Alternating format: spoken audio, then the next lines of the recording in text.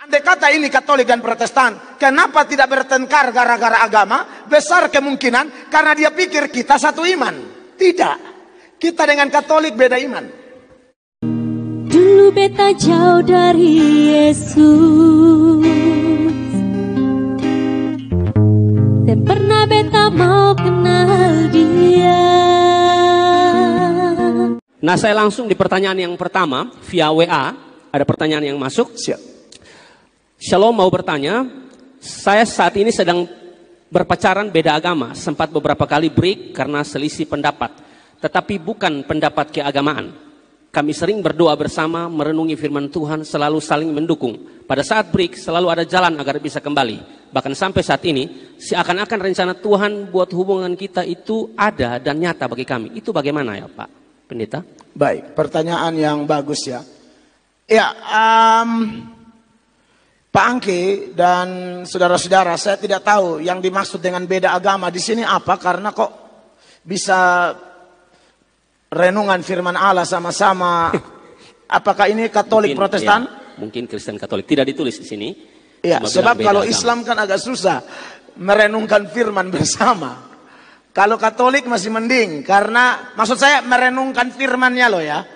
Kalau Katolik kan masih ada bagian firman Allah kita yang sama. Kejadian sampai Wahyu sama, tapi yang di antara perjanjian lama dan perjanjian baru itu saudara-saudara kita yang Katolik punya Alkitab tambahan namanya Deuterokanonika atau kanonisasi kedua yang di dalamnya ada Makabe, Tobit dan lain sebagainya. Jadi saya eh, tidak ada kejelasan di pertanyaan ini beda Tidak agama. Kalau Hindu kayaknya susah ya. Hindu dan Kristen merenung Matius itu kayaknya tidak nyambung. Jadi kelihatannya, kelihatannya Pak Angki ya, sekalipun tidak jelas ini Katolik ya. Bapak Ibu, eh Bapak Ibu, adik-adik yang saya kasih dalam Tuhan Yesus, yang perlu saya tegaskan di sini bahwa memang Katolik dan Protestan ini sama-sama Kristen. Yang satu Kristen Katolik, yang satu Kristen Protestan. Awalnya cuma satu, kalau kita belajar sejarah, tidak ada Katolik, tidak ada Protestan, ya. Tapi pada tahun 1517 ketika Martin Luther dan teman-teman membuat satu gerakan reformasi sehingga mereka dikenal dengan sebutan sang reformator yang kemudian membawa perubahan lalu dari situ lahirlah Protestan. Makanya 2017 saja saya ingat Protestan umur yang ke 500 tahun, 5 abad Protestan ada. Sebelumnya tidak ada Protestan. Ya, dari sejak gereja hadir di hari Pentakosta yang tercatat dalam kisah para rasul pasal 2 ayat 1 sampai seterusnya. Di mana ayat 14 sampai ayat 40 Petrus berkhotbah dan ada 3000 orang bertobat memberi diri dibaptis. Itulah gereja pertama. Itu tidak ada denominasi gereja. Katolik, Protestan, apalagi karismatik, Pentakosta itu tidak ada. Memang seiring berjalannya waktu mulai ada perbedaan seperti yang saya singgung tadi ya. Dan Martin Luther melakukan protes yang sangat luar biasa. Ada 95 dalil. Dan 95 dalil itu diringkas menjadi lima sola. Yang kita kenal dengan sola gracia, sola fide, soli deo gloria, dan seterusnya. Di situ ada sejumlah kritik protes. Misalnya masalah, masalah surat pengampunan dosa. Bagi Martin Luther dan tokoh-tokoh protestan reformasi. Mereka bilang tidak perlu minta ampun dosa. Pakai surat-surat. Kasih karunia menyelamatkan. Datang kepada Yesus sungguh-sungguh. Dan tidak perlu perantara yang lain. Kalau saudara-saudara kita dari Katolik kan. Kalau mau doa ke Yesus. Tinggal di Ibu Maria dulu. Nah kita tidak percaya itu. Sangat menghormati Ibu Maria. Dalam artian dia seorang perempuan teladan. Tapi pengantara kepada Kristus, kepada Bapa cuma satu, tidak boleh ada yang lain. Anda lihat di layar depan 1 Timotius pasal 2 ayat 5 mengatakan demikian. Perhatikan. Karena Allah itu Esa dan Esa pula dia yang menjadi pengantara antara Allah dan manusia yaitu manusia Kristus Yesus. Ditambah lagi Alkitab kita sudah beda. Katolik menuju kita yang mengurangi kitab suci, kita menganggap Katolik yang menambahi kitab suci. Kita percaya kanonisasi pertama, 39 perjanjian lama, 27 perjanjian baru. Deuterokanonika artinya kanonisasi kedua. Kita tidak terima yang kedua. Kenapa? Kenapa tidak terima? Ada prinsip-prinsip pengajaran. Saya mesti ngomong ini, saudara Katolik dengar, ini bukan penistaan, bukan. Ini betul, ini ini faktanya, tidak ada masalah. Ini tidak ada kita hakimi Katolik tidak. Ini fakta sejarah. Kita tidak terima itu surat Makabe yang di dalamnya ada beberapa keterangan misalnya bisa selamat karena berbuat baik kepada orang tua. Lalu ada doa kepada arwah. Nah ini kita tidak terima. Misalnya selamat Berbuat baik kepada orang tua itu baik, bagus, tapi itu bukan untuk selamat. Itu bukti kita sudah diselamatkan. Prinsip ajaran yang sangat mendasar Efesus 2 ayat 8 dan 9. Ini tentang keselamatan. Sebab karena kasih karunia kamu diselamatkan oleh iman. Itu bukan hasil usahamu, tetapi pemberian Allah. Ayat 9. Itu bukan hasil pekerjaanmu. Jangan ada orang yang memegahkan diri. Ya, jadi tidak ada selamat karena perbuatan baik, apa pun itu, termasuk berbuat baik kepada orang tua. Berbuat baik kepada orang tua dan lain sebagainya adalah bukti bahwa kita sudah diselamatkan. Bukti syukur kita, cinta kita, kesaksian kita sebagai orang-orang yang telah menerima anugerah keselamatan. Jadi, itu belum lagi yang lain-lain. Jadi kesimpulannya banyak kita dengan Katolik ini yang awalnya sama, tapi sampai sekarang sudah tidak sama. Sejak reformasi 500 sekian tahun yang lalu. 1517. Maka kalau Anda tanya kita dengan Katolik sekarang posisinya apa? Beda iman. Kita beda agama. Kalau tidak beda agama, tidak perlu di Indonesia ada Katolik, ada Protestan. Dari SD kita belajar ya, sebelum lahir uh, Konghucu misalnya, kita belajar cuma Islam, Hindu, Buddha, Katolik, Protestan. Kita beda agama. Kenapa saya jawab pertanyaan ini mulai dari situ? Karena dikatakan bahwa ini kayaknya rencana Allah, ya. Ada bertengkar tapi tidak bertengkar tentang agama. Kenapa andai kata ini Katolik dan Protestan, kenapa tidak bertengkar gara-gara agama? Besar kemungkinan karena dia pikir kita satu iman. Tidak. Kita dengan Katolik beda iman. Beda. Ini secara iman loh ya. Karena banyak hal-hal yang waduh secara prinsipil kita tidak bisa sama dengan Katolik. Kayak doa buat arwah apa itu kan kita tidak terima itu. Ayub 7 ayat 9 dan 10 Anda sudah ingat ini ayat. Tidak ada hubungan orang mati dan orang hidup. Bagai, sebagaimana awan lenyap dan melayang hilang. Demikian juga orang yang turun ke dalam dunia orang mati tidak akan muncul kembali. Tidak akan. Jadi buat apa doa kepada dia? Apalagi doa untuk dia, minta dia doakan kita. Waduh, itu melanggar firman Allah ini. Ayat 10. Ia tidak lagi kembali ke rumahnya dan tidak dikenal lagi oleh tempat tinggalnya. Saudara silakan tanya, ini bukan penistaan, ini betul. Orang Katolik doa buat arwah, ada doa arwah itu ada. Nah kita tidak terima itu. Dan kita yang protestan tidak bisa merubah itu. Itu sudah prinsip orang Katolik. Hanya kan kita punya ajaran back to the Bible. Kembali kepada Alkitab. Anak Tuhan sejati punya prinsip mencintai apa yang Tuhan cintai, membenci apa yang Tuhan benci. Jadi sekalipun dia bilang kelihatannya rencana Tuhan, saya harus bilang ini ini ada beberapa jawab. Ini baru pertanyaan pertama Pak Angki dan ini jawaban harus detail. Kita bikin talk show lalu jawabnya abal-abal saya tidak mau. Dan kalau memang tidak habis, kita lanjut minggu depan. Betul ya saudara-saudara ya? Karena kita tidak bisa paksa habis semua. Pertanyaannya kami hargai. Kita lanjut minggu depan aja, tidak ada masalah. Nah sekarang menurut penanya ini yang tidak disebutkan namanya, dia bilang ini bukan masalah beda agama, sekalipun mereka beda. Tapi kelihatannya ini rencana Allah mendukung bahwa hubungan kami memang ada dalam rencana Tuhan. Nah, perlu saya jelaskan tentang rencana Tuhan. Rencana Tuhan itu sama dengan kehendak Tuhan. Tapi adik-adik maupun semua saudara di Facebook harus tahu. Kehendak Tuhan itu ada dua pengertian. Yang pertama, kehendak Tuhan dalam artian rencana Allah, skenario Allah, providensia Allah. Dari awal sampai akhir, sampai semua hal sekecil apa pun Tuhan sudah rencanakan. Bahkan Alkitab berkata, tidak ada burung pipit kecil jatuh ke bumi tanpa seizin Tuhan. Hal-hal yang kelihatan remeh, kelihatan sepele pun itu diskenariokan oleh Tuhan.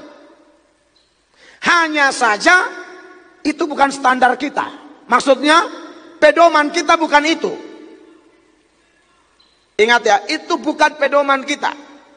Termaksud kita mati kapan, kemudian nanti jodoh kita kapan, karena ada orang yang pacaran 10 tahun ternyata tidak jadi. Dan itu, aduh, sakit sekali itu ya. 10 tahun, 4 tahun, laki-laki ini kadang-kadang enak, kasihan perempuannya. Dia sudah berharap, ya sudahlah, pokoknya kaulah, abanglah, ya kan? Ternyata si abang ini bah, macam mananya abang ini ku bilang ya. abang parah, kadang abang-abang tertentu hanya mau kasih habis. Adik punya uang, lalu lepaskan adik. Nah ini bahaya. Soal kehendak Allah dalam artian pertama, kita tidak tahu dan itu bukan urusan kita, tapi urusan Allah. Ya. Tapi kehendak Tuhan yang kedua, Nah ini yang perlu kita lakukan. Arti kehendak Tuhan yang kedua adalah hal-hal yang Tuhan mau kita lakukan dalam kehidupan kita. Ulang ya, arti kehendak Tuhan yang kedua, hal-hal yang Tuhan mau kita lakukan dalam kehidupan kita. Bertobat, percaya Yesus, ampuni orang, hindari percabulan. Kalau pacaran, ada dia punya aturan juga, kehendak Allah cari yang satu iman, harus saling cinta, jaga kekudusan. Nah, sekarang dia bilang rencana Tuhan. Kelihatannya dia tidak mempedulikan kehendak Tuhan dalam artian kedua, tapi dia sedang menyoroti kehendak Tuhan dalam artian pertama. Ini mungkin rencana Allah. Lo lo lo lo. Saya harus kasih tahu, yang jadi pedoman kita bukan rencana Allah dalam artian pertama. Biarkanlah Allah merencanakan apa pun menurut kehendaknya, menurut kebijaksanaannya. Tapi kita ikuti kehendak Tuhan dalam artian kedua. Dia omong apa, ikut. Mengerti adik-adik?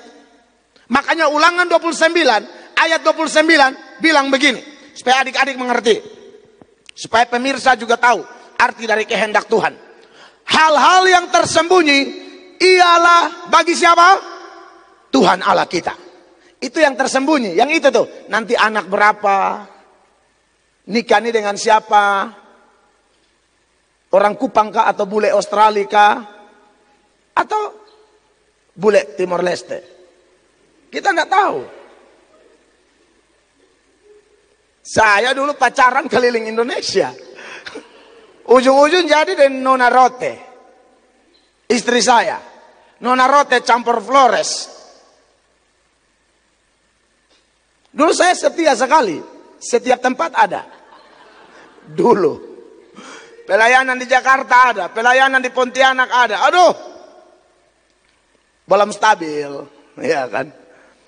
Nggak kepikiran bahwa satu saat datang bisa ketemu satu nona rote.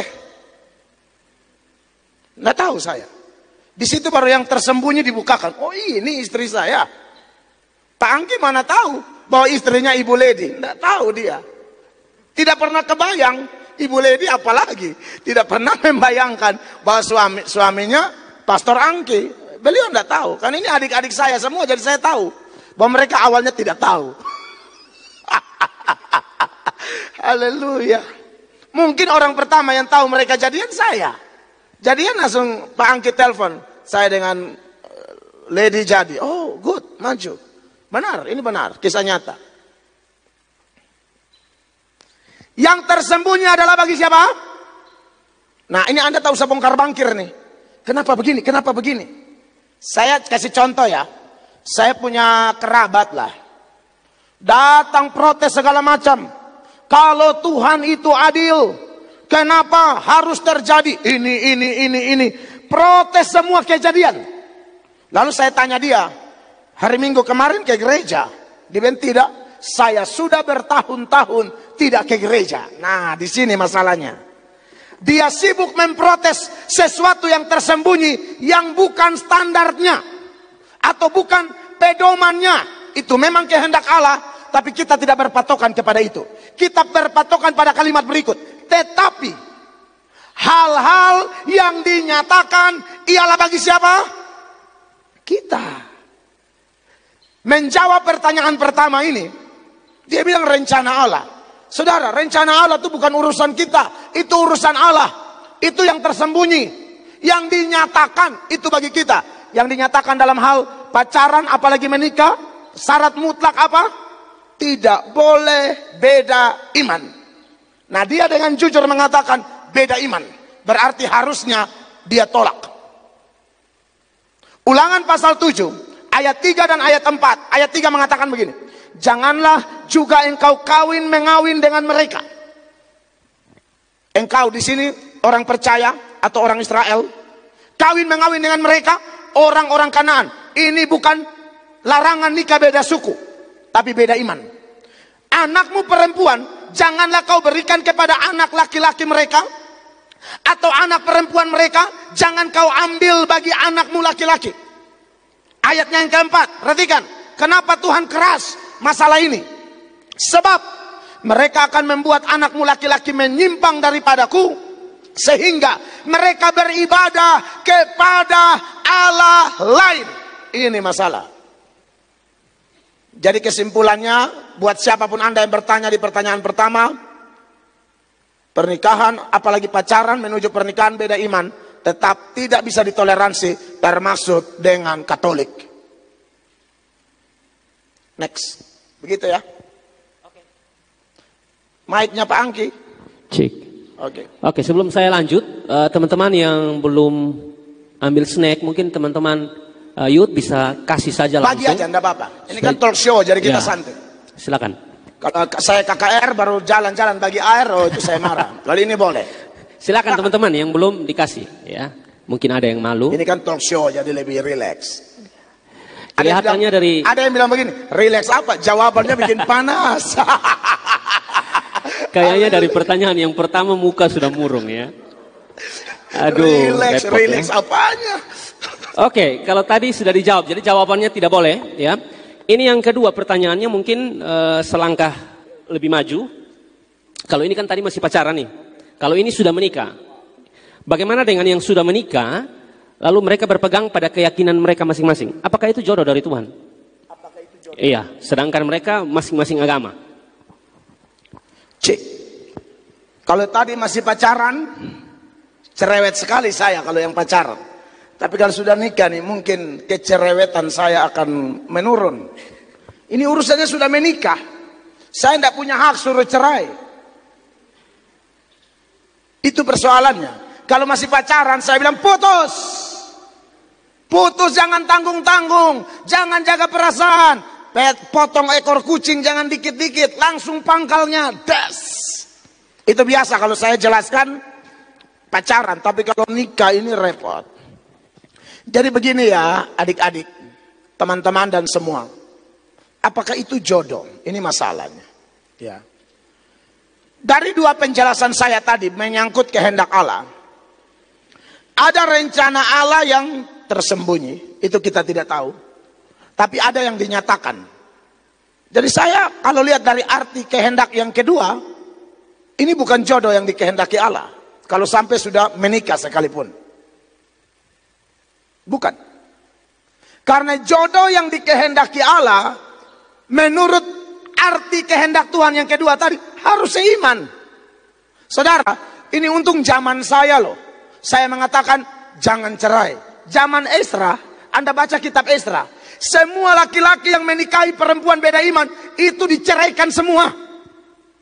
Ini masih mending saya. Di negara Indonesia, yang saya tidak punya hak. Zaman Esra, Tuhan bilang apa? Ceraikan.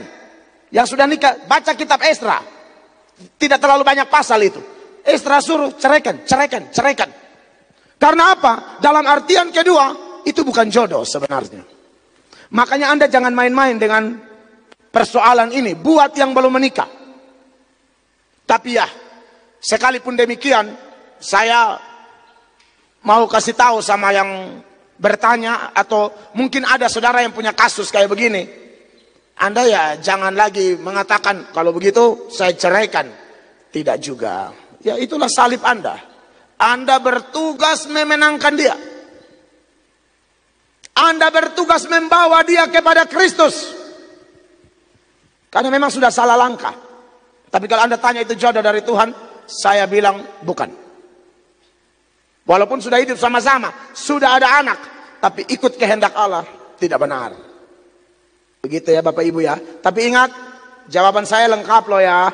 Itu beban Anda sekarang. Salib Anda sekarang. Bimbinglah, tuntunlah, pengaruhilah pasangan tersebut supaya dia kenal Tuhan.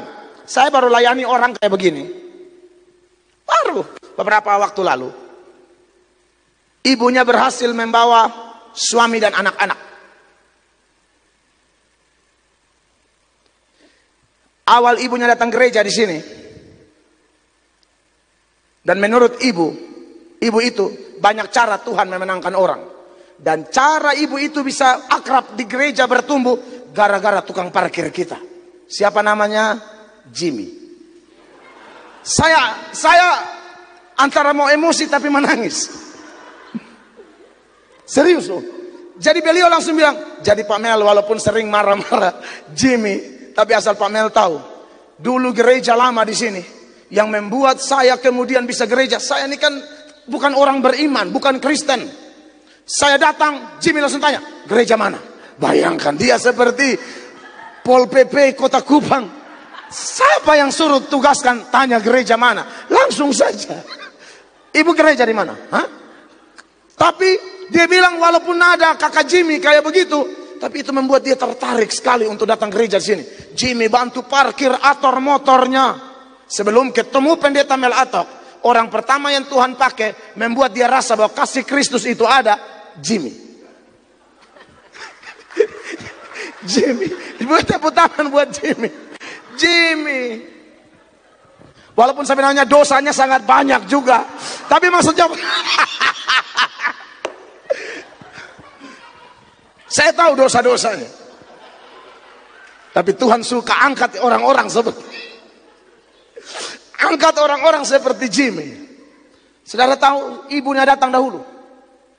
Ibunya pulang, suaminya mau tikam dengan pisau karena suaminya bukan Kristen juga. Oh, ngeri. Tapi ibu ini sudah tahu, dia sudah salah langkah, ya. Akhirnya dia berjuang, berjuang, berjuang, berjuang. Berat.